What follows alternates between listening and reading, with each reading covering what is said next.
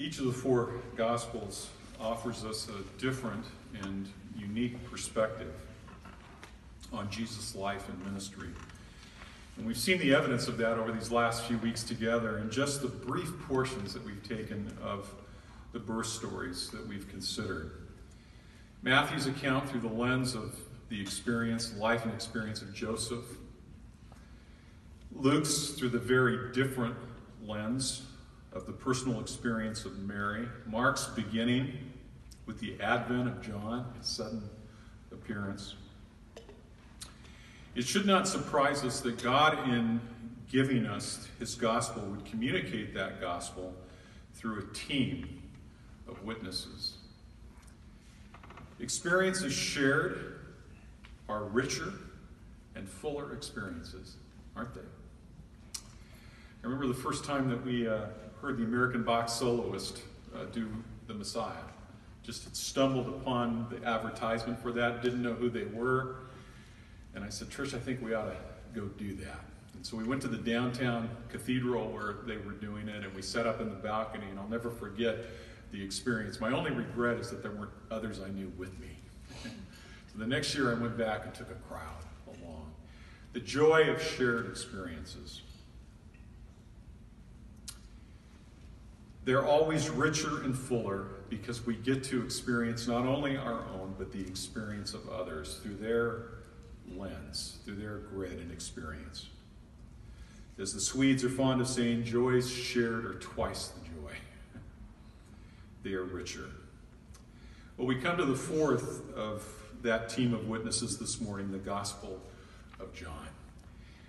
John 1 is to the Christmas story, I think, what the Hallelujah chorus is to the Messiah. Uh, it's all uh, wonderful, but that is especially wonderful. And all of these stories are unique and wonderful, but John 1 is unique. You know, tradition is when the when you get to the Hallelujah chorus, everybody stands. There's apocryphal uh, tradition that the reason that they stand is that when King George II heard the Messiah for the first time, when it got to the Hallelujah chorus, he stood, and because he was the king, everybody stood with him. Well, there's no truth to that story, it's just fiction. But it became tradition, and I'm sure it's out of the fact that people just couldn't stay seated when they got to that point. And John 1 is kind of like that. We would stand anyway for the reading of Scripture, but we will stand especially if you would turn to John chapter 1, verses 1 through 18, and I will be reading out of the New International Version.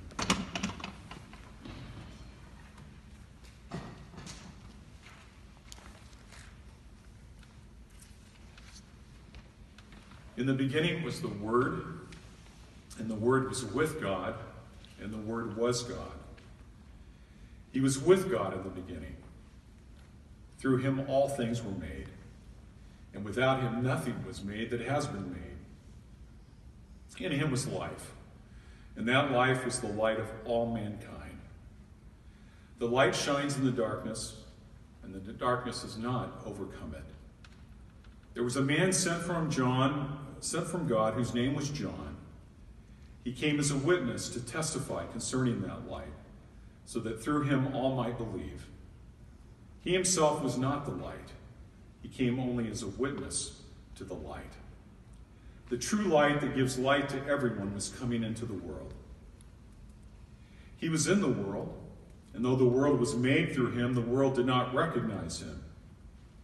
He came to that which was his own, but his own did not receive him. Yet to all who did receive him, to those who believed in his name, he gave the right to become children of God Children born not of natural descent, nor of a human decision, or of a human's will, but born of God. The Word became flesh and made his dwelling among us.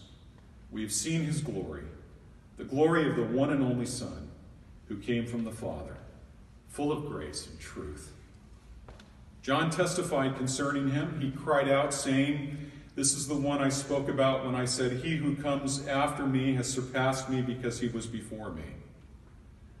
Out of his fullness, we have all received grace in place of grace already given. For the law was given through Moses, grace and truth came through Jesus Christ. No one has ever seen God, but the one and only Son, who is himself God and is in the closest relationship with the Father has made him known. The word of the Lord. Thanks be to God. Amen. You may be seated.